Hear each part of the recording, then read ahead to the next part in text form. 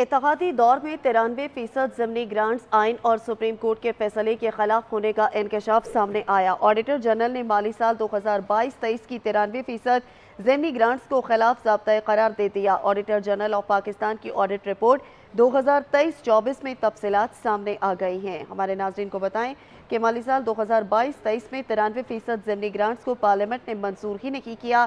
Report کے مطابق مالی سال دو ہزار تیئیس میں وفاقی حکومت نے آٹھ ارب ستاسٹھ کروڑ روپے اور بیاسی لاکھ روپے کی ضمنی گرانٹس منظور کی تھی۔ ان میں آٹھ ارب چار کروڑ چورانوے لاکھ روپے کی ضمنی گرانٹس کی پارلیمنٹ سے منظوری نہیں لی گئی ہے۔